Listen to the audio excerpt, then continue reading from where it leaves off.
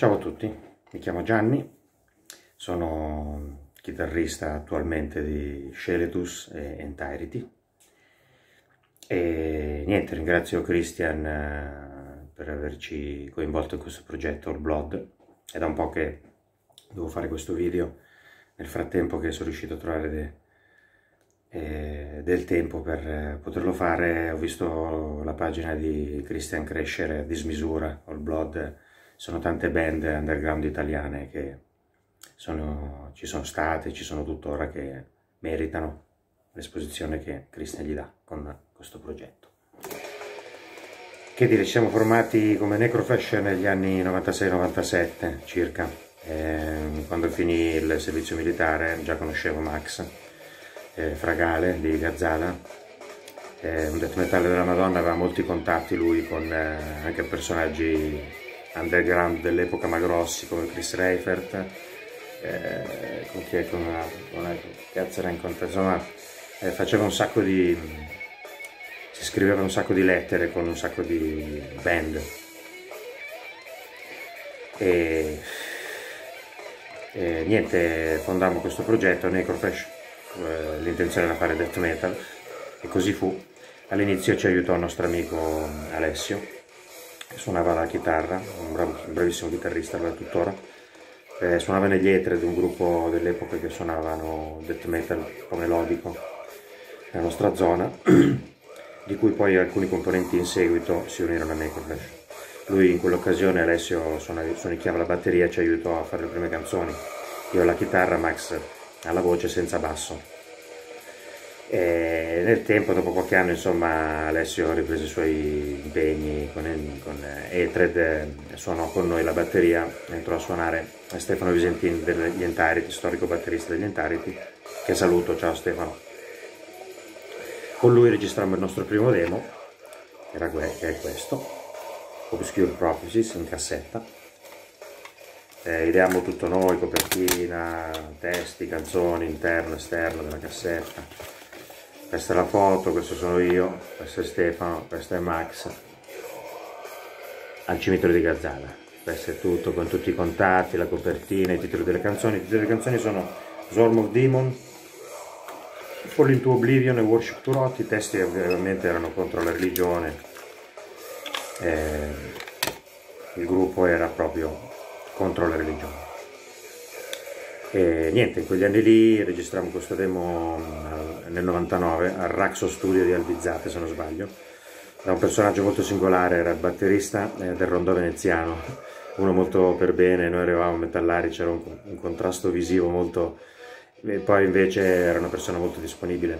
Io registrai il basso eh, e niente, poi in seguito eh, Stefano ci, ci lasciò per ovvi impegni con Entarity ed entrarono a suonare con noi Matteo e Thomas. Con Matteo e Thomas, Matteo era il batterista dell'ora degli Horrid, dopo suonò con Mortuary Grape, mm, ha sempre suonato, Matteo suona tuttora, adesso sono io un po' fuori dai giri, ma suona in un sacco di band, è bravissimo, Matteo anche all'epoca ci procurò molti contatti, facciamo alcuni concerti, e con noi suonava anche Thomas il basso, un bassista molto bravo, e infatti con loro, oltre a fare dei primi concerti, registrammo questo CD di tre canzoni, sempre demo a livello underground, Temptation. Davanti e dietro questo non aveva foto, eh, Beyond the Dark Star, le canzoni Temptation e Supreme Vengeance. Erano canzoni anche molto ispirate a racconti di Lovecraft, eh, letture che facevamo noi. Eh, sempre in quegli anni lì eh, l'Iron Tyrant ci, ci ristampò eh, il nostro demo, questo qui, Obscure Prophecies, ce lo ristampò in vinile, l'Iron Tyrant di eh, Luca Marchetti, che saluto, grandissimo, nell'underground conosciuto. Ci fece un disco split con, oh, pardon, con gli Entrails, un gruppo della Repubblica Ceca che esiste tuttora, e il disco uscì con eh, un, uh, un, titolo diverso, eh, Ancient Gods of Evil. C'erano le nostre canzoni da un lato del vinile e le canzoni degli Antrace sull'altro lato ovviamente noi eravamo molto orgogliosi perché eravamo anche noi collezionisti di vinili eccetera Necroflash Entrace con il relativo foglietto con le foto live che facemmo in vari concerti, comunità giovanile, eh, questo sono io, Max, mosciavamo molto, eh? Thomas, Matteo. Eh, con questa formazione, cioè la formazione non è quella del demo, diciamo, però in quel momento avevamo quella formazione nella ristampa, eh, quindi abbiamo deciso di mettere la formazione che esisteva in quel momento. Ovviamente dentro è precisato chi ci suonava e chi non.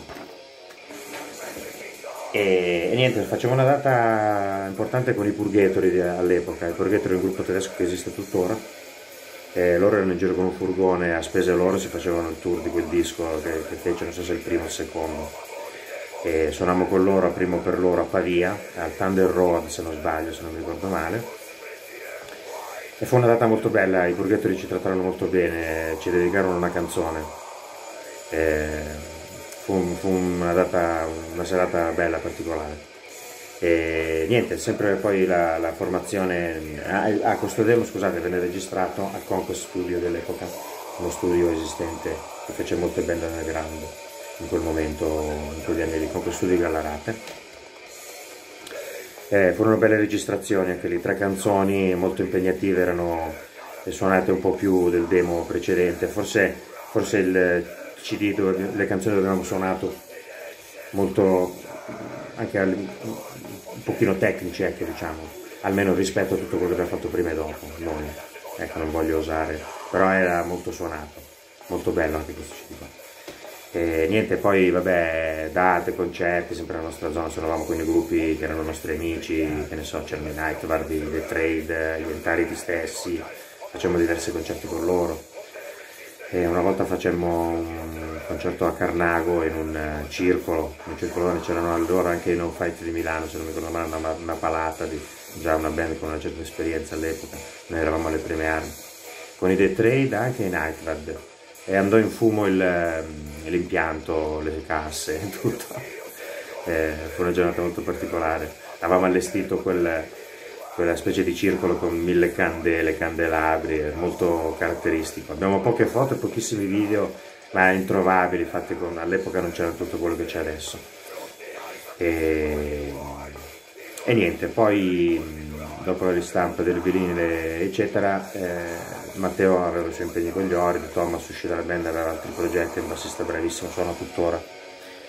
E, si unì a, a noi Andrew Head alla chitarra, quindi a due chitarre, e Fabio Besani alla batteria. E Max iniziò a suonare il basso e, e Fabio e Andrea facevano parte degli Ether praticamente si unirono a noi e facemmo questo CD Fuck You All, il nostro diciamo ultimo sempre con tre canzoni. All'interno di questo includemmo le tre canzoni del demo precedente così giusto per non dimenticare per lasciare la traccia in più di quello che noi avevamo fatto insomma. E Fuck You All è stato registrato nel 2004 al Cool Life Family eh, a Busto Arsizio che si trovava praticamente sopra la sala prove che all'epoca si chiamava Iguana Studios oggi è il Decibel.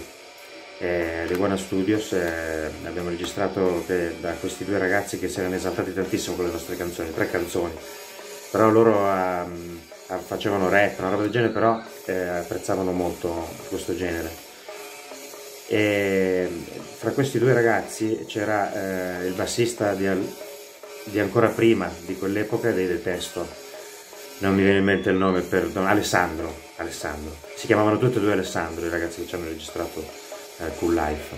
Alessandro dei Detesto era uno dei due soci e mi ricordo che ci fu un bel periodo che già lui era eh, pratico proprio di questo genere. Ascoltando noi si erano esaltati e abbiamo fatto un fine settimana registrare da loro molto partecipato, molto bello.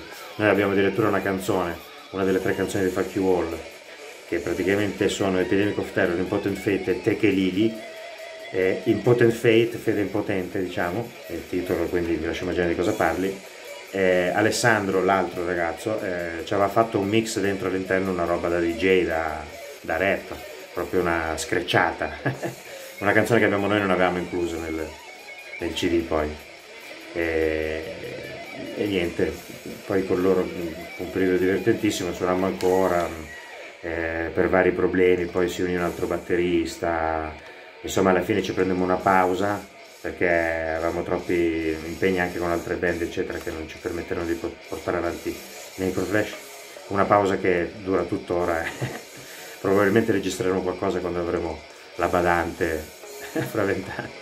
No scherzo niente questa è la nostra breve storia. Eh, grazie a Christian che ci ha dato questa opportunità e ci permette di lasciare una piccola traccia in più eh, rispetto a quello che abbiamo fatto in una pagina all blog dove spiccano anche grandi nomi. Quindi un saluto a tutti eh, e grazie per la pazienza di avermi ascoltato nella nostra breve ma intensa storia dei Necroflash. Di nuovo grazie a tutti e buona serata a tutti.